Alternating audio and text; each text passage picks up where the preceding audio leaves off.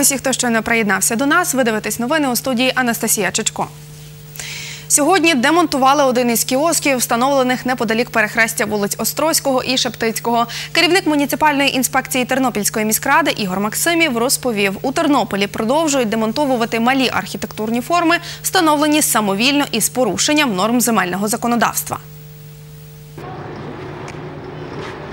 Це перехрестя вулиць Острозького та Шептицького. Працівники управління муніципальної інспекції чекають приїзду спецтранспорту, з допомогою якого мають демонтувати та вивезти кіоск. Сьогодні е, ми проводимо е, демонтаж е, одної з тимчасових споруд відповідно до пункту першого додатку до рішення виконавчого комітету. З 9 годинки розпочалися роботи по е, демонтажу. Е, Відповідно, е, за цей час ми зняли дах тимчасової споруди та одну з стінок, яка- була влаштована сандвіч панелі. Е, Зараз, зараз ми чекаємо на відповідну техніку, саме евакуатор-маніпулятор, для того, щоб погрузити тимчасову споруду і відвести її в місце подальшого зберігання. Демонтаж споруди розпочали о 14.00.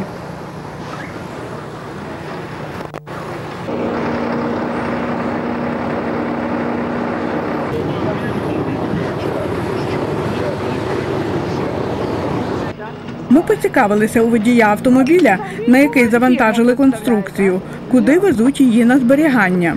Додому. Прокоментувати ситуацію ми попросили одного із співвласників кіоска.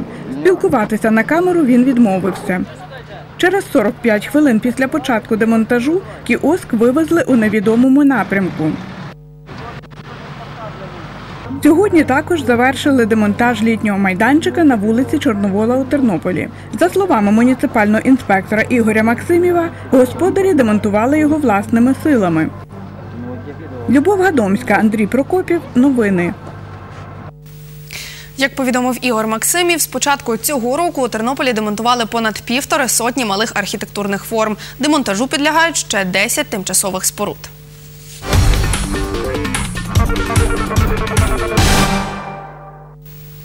За 17 днів з допомогою приладу TrueCam, який фіксує швидкість транспорту, патрульні склали 169 адмінматеріалів. Про це сьогодні повідомив начальник патрульної поліції Тернополя Богдан Шевчук.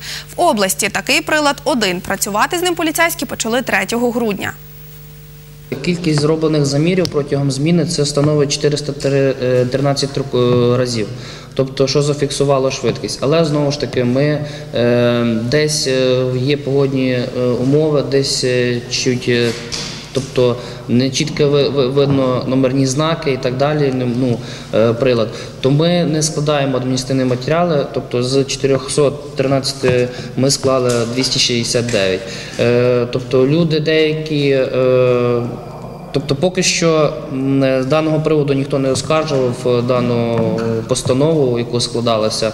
Е, Найбільша швидкість це близько е, 140 кілометрів. Знаки в нас встановлені на Хмельницькому напрямку, на М09, М12 і М19. Е, Поки що даний прилад тільки працює в сторону М09. Зазначив, використовувати пристрої TrueCam у пілотному режимі в Україні патрульні поліцейські почали 8 жовтня. Із 16 жовтня патрульна поліція України почала штрафувати учасників дорожнього руху за перевищення швидкості, яке зафіксували ці пристрої. Про це нашим журналістам 3 грудня повідомив керівник патрульної поліції Тернополя Богдан Шевчук. На Тернопільщину тоді, за його словами, прилади TrueCam не надійшли. Зазначу, що за перевищення обмежень швидкості руху більш як на 20 км за годину штраф у розмірі 255 гривень. За перевищення швидкості більш як на 50 км за годину штраф 510 гривень.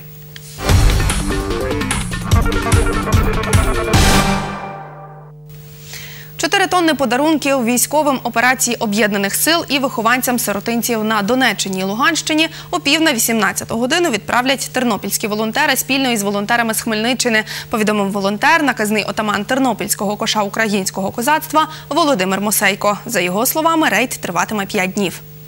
Їдемо в напрямку Попасна, потім спускається Донецький напрямок, їдемо на Маріупольський напрямок. Веземо не тільки нашим хлопцям волонтерську допомогу, але так і також генератор, маскувальні сітки, зварочний апарат. Від дітей наших багато подарунків. Також 19 мішків веземо дитячої одежі, ігрушок в дитячі будинки Луганської та Донецької області.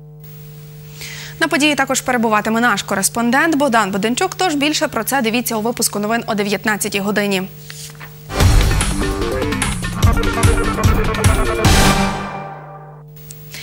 Тернопільському ліцеї номер 21 спеціалізованій мистецькій школі імені Ігоря Герети відкрили мультимедійну лабораторію. На відкриття прийшли майже 120 учнів. 70 із них взяли участь у майстер-класі зі створення мультфільмів. Озвучувати мультики школярів навчала учасниця тернопільського музичного гурту Тік-Ту Наталія Багрій. Комп'ютерні аплікації діти робили разом із режисером Іваном Яснієм. І створювати пластилінові анімації вчила мультиплікатор Тетяна Ясінчук.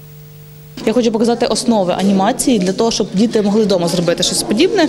Хочу показати на на тому, що їм буде цікаво. Дівчатка зроблять е, букви летерінг, так і е, зроблять квіти, які будуть розкриватися на цьому летерінгу. Ми зробимо це покадрово, тобто ми будемо фоткати, а потім е, потім ще, ще розкривати мак, більше фоткати, знову розкривати його, ще фоткати.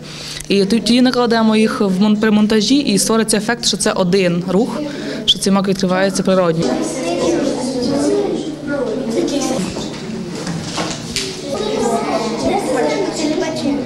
Я роблю е, квіточки, мак і ромашку. Я е, зробила е, надпис лайк і ще робимо сердечко, щоб сердечко вийшов лайк. Я думаю, з цього вийде якийсь мультик. І репортаж про це дивіться у підсумковому випуску новин на 19 годині. На цьому у мене все. З оновленим випуском новин чекатиму вас тут менш ніж за дві години о 19-й. Дочекайтеся. Thank you.